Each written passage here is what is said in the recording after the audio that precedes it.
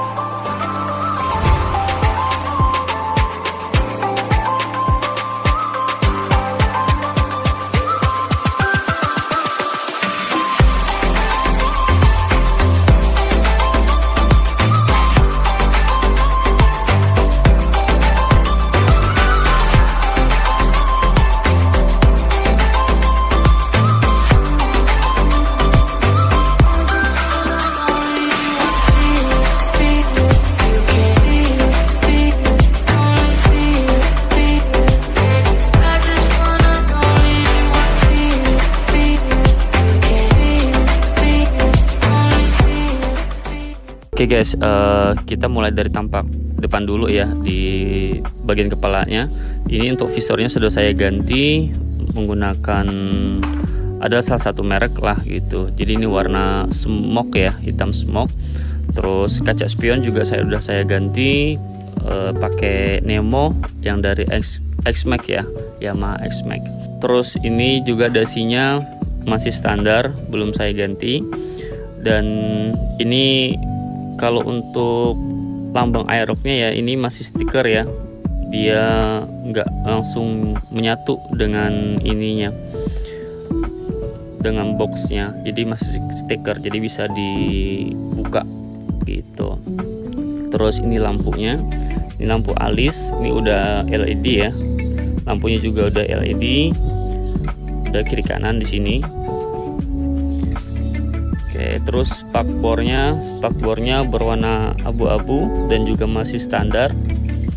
Dan untuk kalipernya juga masih standar. Ini piringannya juga masih standar. Terus pilaknya juga masih standar warna kuning stabilo. Oke, sekarang kita pindah ke bagian sisi kanan. Ya, ke sisi kanan ini ada stiker uh, bertuliskan 155 on 55 ini juga stiker ya. Jadi bisa dilepas ini warna abu-abu terus warna hitam di bagian sini. Terus ini ada ada kolong-kolongnya sedikit. Terus kita sedikit lagi geser. Ini warna hitam dan juga stiker. Stikernya besar Aerox. Oke ini liquid collet. Oke.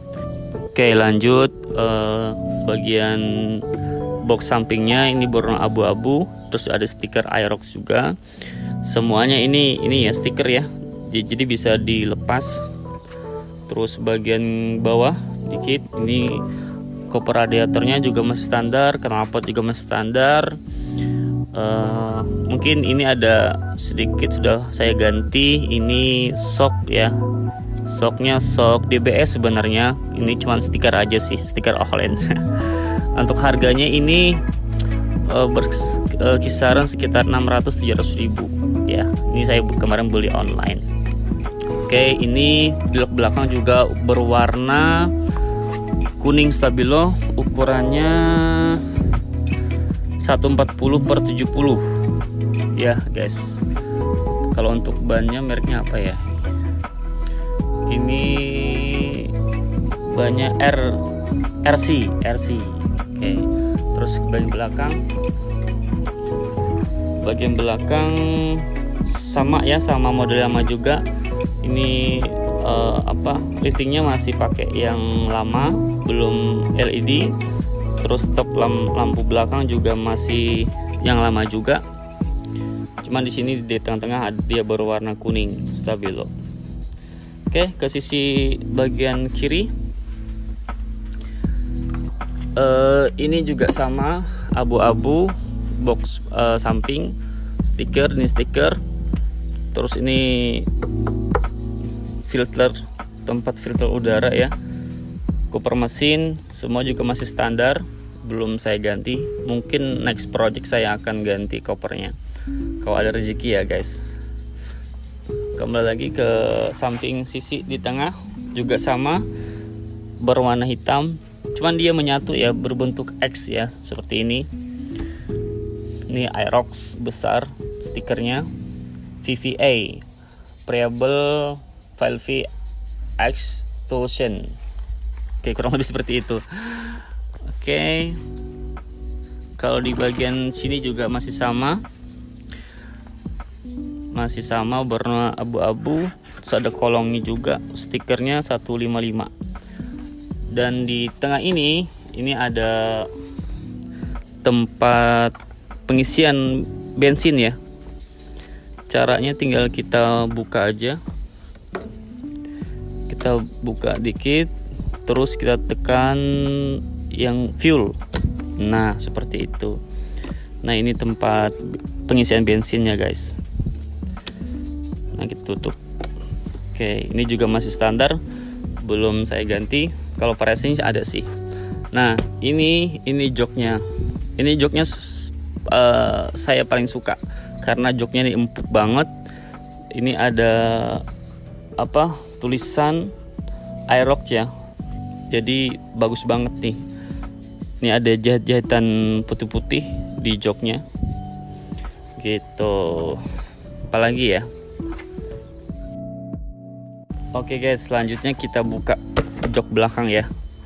Ini tinggal kita di posisi kuncinya di open ya.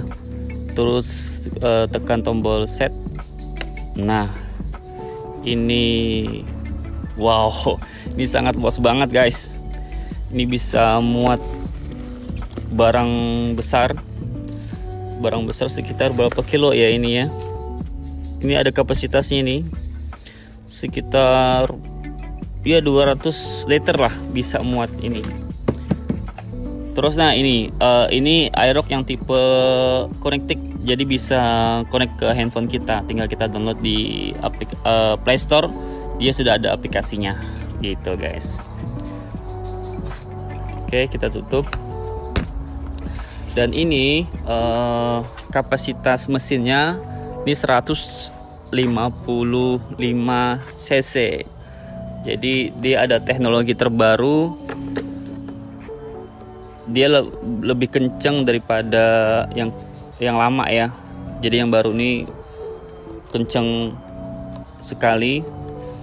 Dan ini RPM-nya ini saya sudah jalan sekitar 340 km gitu ini rintik nih cuacanya oke mau dengar mesinnya? Coba ke bagian sini. Kita coba dengar bagian mesin. Ini knalpotnya masih standar ya guys. Tuh. halus. Halus banget suaranya. Coba kita geber-geber sama sih semua suara mesinnya. Karena knalpotnya masih standar ya oke. Kita matiin. Dah mungkin itu aja. Apalagi ya? Nggak ada sih. Mungkin itu aja dulu uh, dari kita.